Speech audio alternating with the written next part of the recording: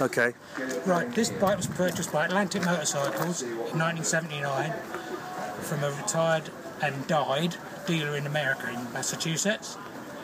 He had a whole stack of English bikes. I went over there in 1979 with nine grand in my pocket and bought two Vincents, this one in bits, the Lightning in bits, two Rapides, a couple of Internationals and an American Indian. Got them all downstairs, loaded them up to take them to the airport, send them back to England. The next day, uh, in the barn where these were, there were 50 American bikes. The next day, this is the best bit, Steve McQueen turned up and bought all them. I missed him by a day. That's that. Just see if it will turn over. Go on, a little more. Go on, keep it spinning.